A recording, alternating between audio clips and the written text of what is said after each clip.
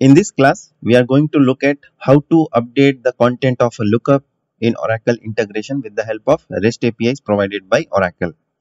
For demonstration purpose, I am considering this employee lookup which I have created. Let me open and show you the content of this lookup as of now. So this lookup is having two columns. One is a name and the role and I have populated few employees over here with their roles.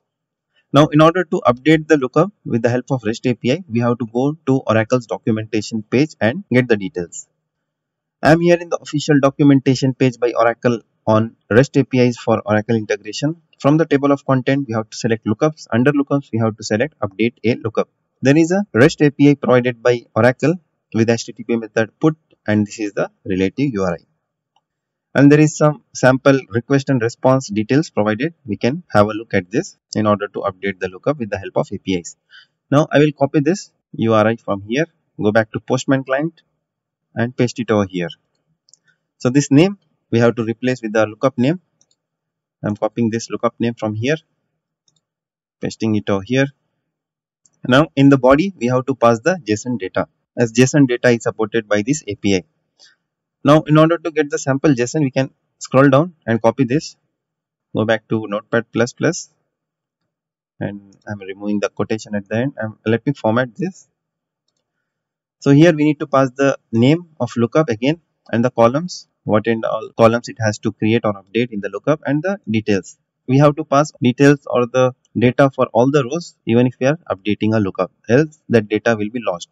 I will explain you how it looks like. In order to save time, I have populated the details like columns. I am having two columns. One is the name and the role. That is name and role. And I have populated for employee details. Let me copy this from here and paste it in the body. And the HTTP method I have selected as put. As of now, I am not altering any details for any of the employees.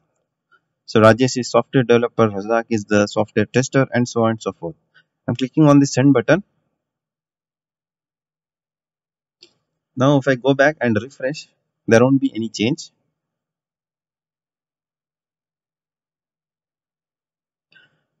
Details are intact. Now let me verify details for Khalik. I will remove software tester to software manager.